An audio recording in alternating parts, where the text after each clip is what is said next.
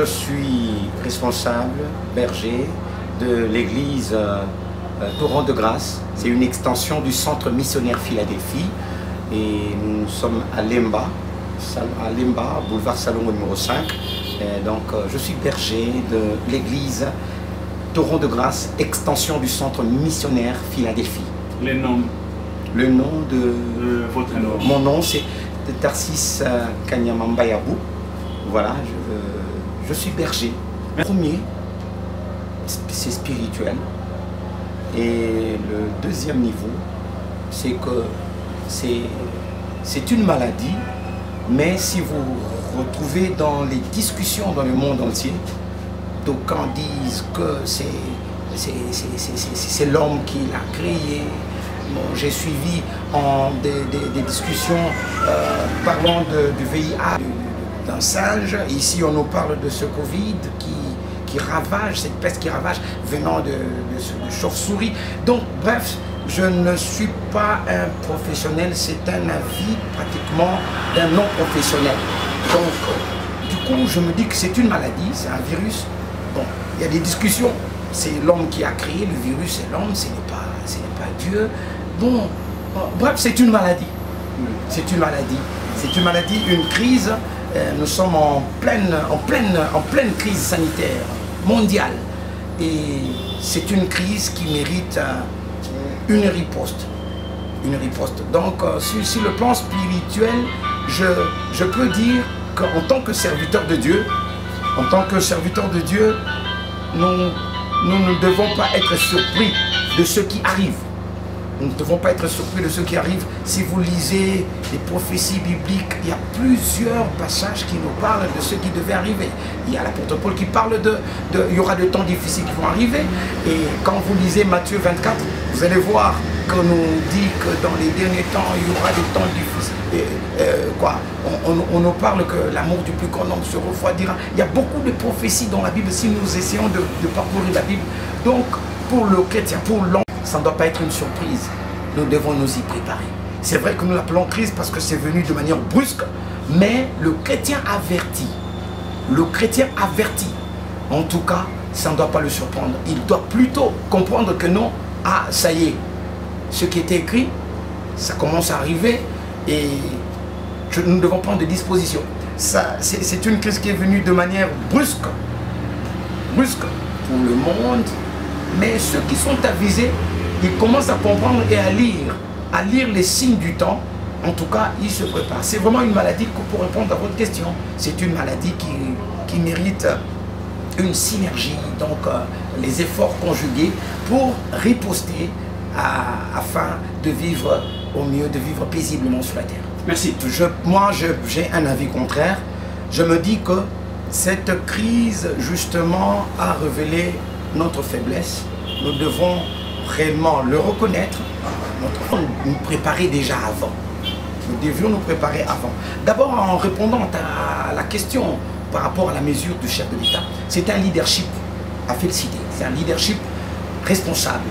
Parce que là, il s'agit euh, d'une euh, crise qui est arrivée brusquement, brusquement, brusquement.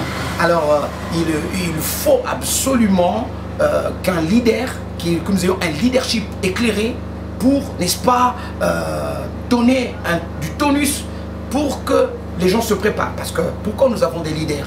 Des leaders pour qu'ils puissent, n'est-ce pas, donner le ton afin que nous puissions répondre à certaines, à, certaines euh, exigences. Comme, ce, comme, comme euh, la crise, cette pandémie, nous sommes en pleine crise, c'est une pandémie mondiale. Et quand nous, nous voyons dans, dans, plusieurs, dans plusieurs, à, plusieurs, à plusieurs endroits dans le monde entier, et nous avons vu que plusieurs prennent des dispositions selon leur contexte. Et nous, ici, nous félicitons la décision de, du premier citoyen euh, en prenant cette, euh, cette décision. Je trouve que c'est responsable et nous, ça ne doit pas nous euh, ça ne doit pas nous choquer outre mesure. Pourquoi? Parce que nous, nous sommes l'Église. Nous nous préparons les, les, membres à aller au ciel. Donc nous devons les préparer tous les jours. Donc nous devons dire à nos membres que nous sommes l'Église. Sur la terre, nous ne sommes pas éternels. Nous sommes en train de nous préparer pour entrer au ciel. Donc ça, c'est le rôle du leader que nous sommes en tant que leaders des églises. Nous devons préparer l'église à entrer au ciel tous les jours et c'est même de ces trois rôles de l'église. L'église a comme rôle l'adoration, l'édification et la mission. Donc les trois rôles de cette trilogie, le rôle de l'église, c'est justement préparer le monde à l'adoration. Qui va être un adorateur C'est celui qui a été gagné par la mission. C'est lui qui a gagné, gagné par la mission pour devenir un adorateur. Afin, quand il devient un adorateur, il commence à édifier les autres. Il édifie les autres et il gagne encore. Ainsi de suite, c'est un cercle vertueux un cercle vertueux. C'est ça le rôle de l'Église. Donc la trilogie qui nous dit que nous devons préparer le peuple pour entrer au ciel. Donc ici, si nous n'avons pas euh, un endroit permanent ici sur la terre, c'est la Bible qui le dit. Donc ça ne nous surprend pas cette mesure. Nous devons vivre en Église. L'Église, ici, c'est encore là une occasion pour que nous puissions dire que l'Église, en nous voyons souvent bâtiment. Non, nous ne devons pas voir l'église bâtiment. Nous devons voir l'église, ses membres qui rentrent par la conversion dans le corps invisible de Christ et qui commencent à agir de telle enseigne qu'ils se préparent pour, aller au ciel. Donc nous sommes l'église, nous sommes donc là où deux ou trois se réunissent en au nom de Jésus, il est là. Donc nous sommes l'église, ce n'est pas parce que nous allons dans un bâtiment. Nous sommes l'église parce que nous, nous rassemblons, je voulais dire, nous nous, nous, nous, nous, nous, rassemblons parce que nous sommes l'église. Cela veut dire, dans cette synergie qu'il y a entre les leaders qui conduisent les peuples de Dieu, l'église, les, les, pasteurs, les, les différents leaders, ils doivent aussi entrer dans ce jeu-là de la riposte, n'est-ce pas? Cette synergie, cette synergie entre l'église et les, dirigeants, les, hommes politiques, les dirigeants politiques, l'église a un rôle. Parce que l'église a des membres qui, les écoutent. Voilà pourquoi nous voulons justement accompagner. C'est pour ça que nous disons qu'il y a la famille, il y a l'église, il y a le gouvernement. Au niveau de la famille, en tant que père, j'ai une responsabilité. Et nous croyons dans la pensée de Dieu que l'église commence dans la famille, là où le père est lui-même un sacrificateur. Je dois commencer par moi-même. Dans, dans ma famille, mon épouse et mes enfants, j'ai le rôle de sacrificateur en tant qu'église, ou je veux dire église de maison, au Écosse, là, je suis responsable, j'instruis mes enfants. Et là, dans les grands rassemblements, quand nous nous rencontrons avec d'autres familles ensemble, comme nous, nous en avons l'habitude, c'est justement pour les influencer à justement à, observer ces gestes barrières, comme nous le disons, les gestes barrières, et, ensemble, dans une synergie avec euh, ce qui est dit par le gouvernant, qui euh, entraînant les, le peuple de Dieu, je pense que dans cette synergie, il y aura une réponse. Le monde avec Dieu conduit à cela. Manque de division, n'a pas le cœur. Donc euh, je pense que quand vous parlez de l'unité, avant qu'on en arrive à l'unité, il faut qu'on ait la foi. Il faut qu'on ait la foi. La foi en Dieu. Donc euh, là où il y a euh, là où il y a il y a Dieu, il y a la foi. Là où l'homme accepte Dieu, il y a la foi. Et là où l'homme a la foi véritable, la foi véritable, il y a l'unité. Là où il y a l'unité, il y a l'amour. Et là où il y a l'amour, en tout cas, Dieu est là. Je pense que la question, c'est de ne pas s'éloigner de Dieu. Parce que quand vous parlez de l'unité, vous savez que vous parlez de l'unité pour riposter, être ensemble. Vous savez que euh, l'unité, il faut avoir un cœur qui peut se sacrifier. Quand tu veux être uni, il faut apprendre à sacrifier quelque chose, à te sacrifier.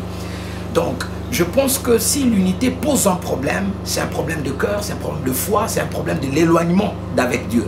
Donc, euh, il faut régler cette question spirituellement. C'est la raison pour laquelle nous disons, tout ce que nous faisons, nous le faisons pour plaire à Dieu. Donc, quand on est éloigné de Dieu, c'est une tragédie, une tragédie. La première tragédie, c'est l'éloignement d'avec Dieu. Et cet éloignement d'avec Dieu ne peut pas permettre l'unité la vraie unité. C'est la raison pour laquelle vous, avez, vous allez voir que maintenant là, alors qu'il y a une crise, une véritable crise sanitaire, alors au lieu de suivre ce qui est essentiel, je vois que c'est comme s'il y a quelquefois, quelquefois des à côté, des à côté, des à côté. C'est une opportunité, une occasion pour que l'on puisse se mettre ensemble pour riposter d'abord, pour une riposte vigoureuse face à cet ennemi, à cet adversaire invisible qui est en train de ravager. C'est vraiment une peste qui ravage comme pas possible. Vous avez, eu, écho de ce qui se passe en France, en Italie, en Espagne, et aux États-Unis. Donc je pense que ici, dans mon milieu, nous devons absolument avoir l'unité. Qu'on soit unis, qu'on voie d'abord les intérêts, pas des intérêts égoïstes, devons pas être euh, égocentriques, égoïstes, mais voir d'abord l'unité, donc voir l'intérêt communautaire et laisser à côté tout, tout, tout, toutes ces divisions, mettre de côté, juste pour voir ce qui est essentiel. L'essentiel c'est quoi? Être ensemble pour riposter vigoureusement face à cet adversaire invisible. Il y a, il y a quelque temps, nous avons, je m'adresse au monde, l'éloignement de Dieu n'est pas une très bonne chose. Maintenant, je, la pensée que je peux lancer, il y a quelque temps, nous avons parlé de, la Pâque, la résurrection, nous avons fait la résurrection du Seigneur Jésus-Christ. Si ceux qui me suivent sont chrétiens, ils doivent comprendre que au travers de la Pâque, pour le chrétien, au travers de la Pâque, il y a la puissance de la résurrection. Si vous qui me suivez, vous vous retrouvez dans une situation, soit en quarantaine, soit touché par cette maladie, soit, je ne sais pas, vous êtes en confinement, en quarantaine, je ne sais pas moi, dans l'isolement, je pense qu'il y a un espoir, c'est Jésus qui est l'espoir de la terre. C'est Jésus-Christ qui est l'espoir. Il n'est plus dans la tombe, donc la même puissance qu'il a ressuscité d'entre les morts, c'est la même puissance qui agit dans le chrétien. Si tu es chrétien là où tu es, je te le dis, il y a un message d'espoir. Crois au Seigneur Jésus-Christ. Le Seigneur Jésus-Christ est la réponse, est la réponse de cette humanité en perdition. Je pense qu'il n'y a pas à perdre d'espoir. Crois au Seigneur Jésus-Christ, tu verras ton miracle. Crois au Seigneur Jésus-Christ, Jésus-Christ vient te visiter. Nous avons compté plusieurs personnes, plusieurs guérisons de par le monde, quelques, quelques cas. Mais je pense que ça va continuer grandissant. Je le déclare au nom de Jésus-Christ. Toi qui es touché perds pas espoir. Crois au Seigneur Jésus-Christ. Il est capable de donner une solution à, ta, à ton état de santé. Donc il y a un message d'espoir. Je pense que la foi ne peut pas exclure tout ce que nous sommes en train de, de, dire comme geste simple, geste barrière. C'est ça, c'est la sagesse. Mais je pense que ça n'exclut pas. La foi n'exclut pas d'être, d'observer, d'adopter les gestes barrières. C'est pour ça que je dis que nous devons être en synergie avec le gouvernement. Ce que dit le gouvernement, c'est ce que nous aussi nous devons, nous devons embrasser cela et ensemble pour que nous puissions, la première des choses, l'espoir, l'espérance. C'est Jésus-Christ qui est l'espérance. Je comprends j'ai suivi mon pasteur Roland Dallot, que je salue en passant, mon pasteur Roland Dallot, l'apôtre Roland Dallot. Je l'ai suivi, il a dit quelque chose qui m'a touché dans, dans son speech. Il a dit que le moment de crise sont le, moment de crise, ce sont des moments de grande révélation. Et je pense que c'est arrivé brusquement et brusquement, les, écoles sont fermées, les églises sont fermées, les restaurants, tout, tout, tout est fermé. Alors ce sont des moments de grande révélation. Qu'est-ce que je peux dire à tous ces enfants qui croient qu'il y aura ceci, il y aura cela? Ce sont des moments de grande révélation. Il est bon pour que nous puissions tous ensemble réfléchir pour voir qu'est-ce que Dieu veut nous dire pendant ce temps. Pendant ce temps. Alors que les scientifiques ils sont en train de continuer leurs recherches. Nous, nous devons faire quoi? Nous devons avoir toujours l'espoir pour dire que ça va bientôt. Et on ne doit pas perdre l'espoir parce que j'aime ma Bible qui dit que même un arbre a de l'espérance. On le coupe à l'approche de l'eau, il, il, va encore ressortir. Ça, c'est dans. Donc, je pense que si un arbre a de l'espérance, nous, à combien plus forte raison, devons avoir de l'espérance. Et bon, il y a toujours l'espérance, une espérance vivante. Nous avons un Dieu, le Dieu Tout-Puissant, qui contrôle ce qui se passe sous le ciel. Rien. Il, est au contrôle de tout. Continuez à espérer que ces choses prendront fin très bientôt, très bientôt. Et vous allez reprendre le chemin de l'école. Croyez-moi, ne perdez pas euh, espoir. Si un arbre de l'espérance, vous, au contraire, vous devez avoir plus d'espérance qu'un arbre. Je bénis et je salue toute la communauté de l'église Torrent de Grâce, membre de l'église Torrent de Grâce, extension du centre missionnaire Philadelphie. Je vous salue de partout où vous êtes, de partout où vous me suivez. Et je salue aussi, de manière générale, toute la communauté Philadelphie. Nous citons Philadelphie Gombe avec mon pasteur, mon pasteur euh, Ken Lamba, le, pasteur Atom Sumbuma, à Fil à Cité Exaucement et toutes les autres extensions, de manière générale, je vous salue et toute la communauté chrétienne de manière générale. Alors, quel est le message que je veux dire d'abord en particulier à ceux qui sont dans l'église Rang de Grâce? Ils savent quelle est la stratégie gagnante que nous avons placée, le dispositif que nous avons placé, les chandelles oikos. Nous, nous avons continué à respecter ce que le gouvernement a placé comme instruction. Parce que nous sommes l'Église et les autorités ont placé. Mais nous, vous savez que nous, nous sommes en train de, tout en observant les gestes barrières tout le reste, de petits groupes. On se réunit à deux ou à trois, en respectant tous les gestes barrières et tout ce qui a été dit.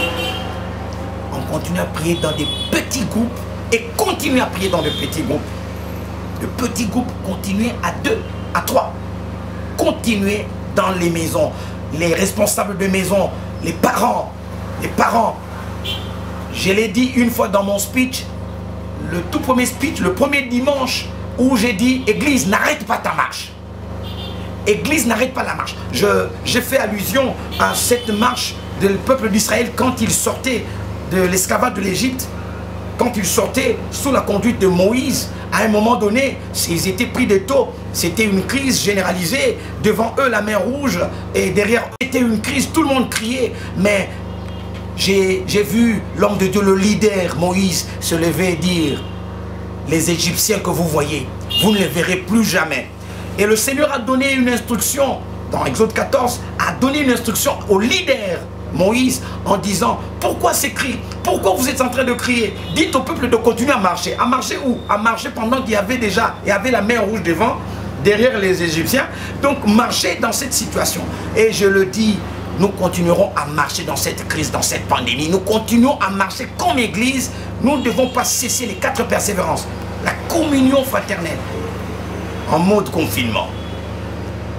Persévérer dans les prières en mode confinement persévérer dans les enseignements, persévérer dans la faction de pain en mode confus. Donc nous voulons dire que l'Église ne peut pas arrêter sa marche. L'Église, le, le, le Covid-19 ne peut pas modifier notre vie en tant que chrétien par le Saint-Esprit. Je pense que l'Église est conduite par le Saint-Esprit. Et je pense que le Saint-Esprit va vous donner la force de continuer à prier. Nous, nous, nous, plus de grands rassemblements. Ok, mais de petits groupes. Je pense à ce qui était arrivé à Paul et Silas. C'est aux pieds, aux mains.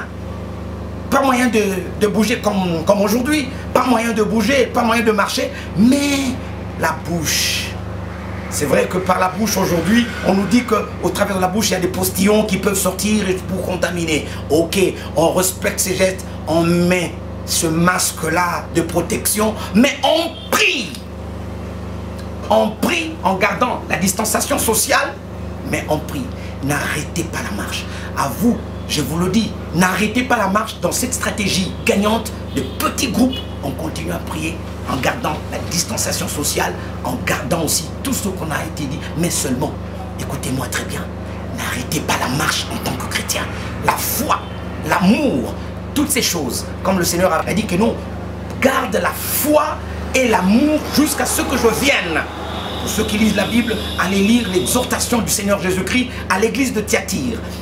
garde la foi jusqu'à ce que j'arrive. Ne perds pas ta foi à cause de cette pandémie, ne perds pas la foi à cause de l'isolement, ne perds pas la foi à cause de la quarantaine, ne perds pas la foi à cause de la pandémie, Covid-19, toutes ces choses, ne perds pas la foi, continue ta marche en tant que chrétien. Continue ta marche avec chrétien. Voilà le message que j'avais à vous dire. Merci. Maloba kitoko. Eza maloba oyo euti na ba professionnel ya santé. Ba ba maloba oyo soko moni yango mondialement eza adopté na monde entier et pe ezali kosunga. Po ete soki motu azali sortir bapostillon bamwa matanga ekoki kokende kokontamine. Na boye biso tondimi ete na kati na mayele na bango bamoni ete contingent moto akoki kozala contamine à partir ya bapostillon oyo ezali kobima wana ekotuta motu alors balobi ete kolata masque kolata masque de protection pour être soki oza na yango. Elingo bakino tu te protèges et tu protèges aussi ton, prochain. Donc obibatela mpo obatela mpe mozalani na yo. Alors yana boye tolobi ete tolobi iyo. Na oyo na les, les, les, scientifiques bato ya sanitaire balobi. Ya liboso yango wana balobi ete batela monoko na soki na moto na mwa 1 mètre ya distance na ye contact ya ezala te. Balobi ete sokola maboko na ntango nyonso. Ezali bato ya minganga balobi ete mpo mikrobe yango eza kosimba na maboko mpo oyebi ete esika osimbaki ntango mosusu osimbaki mikrobe yango ntango oke kosimba elongi okotisi yango mpo ezokɔta na banzela misato na monoko na zolo mpe na miso donc oyo nyonso baminganga balobi biso bayebana na nzambe tosengeli te kozala na toloba te na komba molimo biso tobwakisa yango pembeni te. Biso tolobi ete esengeli kozala na mayele bwania. Bwania ezali eloko na motuya. Tosengeli kotosa yango mpe kosalela yango mpo bamingi baza na mwa kobeta ntembe na oyo etali maladi oyo. Maladi oyo eza ya solo. Soki ofongoli bilili okomona na boye soki osangisi discipline koza mokristu batela discipline. Soki otie maske na elongi na yo ekopermettre yo tosimba elongi na yo. Ozomona eza mpona kopermettre yo omikebisa mpona propagation ya maladi oyo kokende liboso nango ekende te. Mpo bitumba bazobenga riposte na lopoto elingi koloba nini? Toza kobunda na moyini oyo azomonana te mpo ete moyini wana asila nie mpo ete moyini wana asila nie. Yango ozomona elonga ekozala soki yo okomi na discipline mpo oyebi kisi ya liboso mpo na kolonga monguna oyo ya covid-19 ezali discipline na yo na ya ngai. Soki obateli maloba wana me kasi kobosana te molimo kobosana te mabondeli mpo yango nde moto eza likolo. Donc na boye oyo nyonso balobi distanciation sociale. Kotia masque de protection kosimba elongi na yo te. Kosimba mpo ekɔtaka na monoko na zolo mpe na miso. Distanciation sociale kobima kaka soki eza likambo motuya mpe ekeba na bisika bituluku ya bato basangani bakangamani bakangami kangami kangami esika moko likama ezali wana. Ndeko na ngai mibatela mpe batela baninga na yo. Soki totosi maloba oyo nabandi tokolonga monguna oyo azomonana te. J'ai un petit verset que je vais dire de mémoire ou deux si vous me permettrez si vous me permettez le premier verset je dis il n'y a sous le ciel aucun autre nom donné parmi les hommes par lequel nous devions être sauvés. Ce n'est pas coronavirus ni Covid-19 comme on l'a nommé. Le nom de Jésus est au-dessus de tout nom. J'aimerais dire, ça c'est le premier message, c'est que ce nom de Jésus est au-dessus du coronavirus, est au-dessus du Covid-19. Je le dis à tout enfant de Dieu qui m'entend de là où tu es, sache que le nom de Jésus est au-dessus. Aujourd'hui, nous commençons à citer ce nom-là à longueur de la journée. Il n'y a que ça, il n'y a que ce nom-là, il n'y a que ce nom-là. J'aimerais dire aux chrétiens, à un moment donné, remplacer ce nom-là par le nom qui est au-dessus de tout nom depuis les siècles. Ça, c'est le premier message. Le deuxième, j'aimerais ce que l'apôtre Paul a dit. Et en vous la pensée qui était en Christ Jésus. Lui dont la condition était celle de Dieu. Il n'a pas estimé comme une proie arrachée d'être égal avec Dieu. Mais s'est humilié lui-même en devenant obéissant jusqu'à la croix obéissant sur la croix. Jésus-Christ était obéissant sur la croix. C'est pourquoi Dieu l'a souverainement élevé, lui a donné le nom qui est au-dessus de tout nom. Afin qu'au nom de Jésus, tous genoux fléchissent dans les cieux, sur la terre et sous la terre. Et que toute langue confesse que Jésus-Christ est Seigneur à la gloire du Dieu le Père. confessons le nom de Jésus, c'est lui qui est le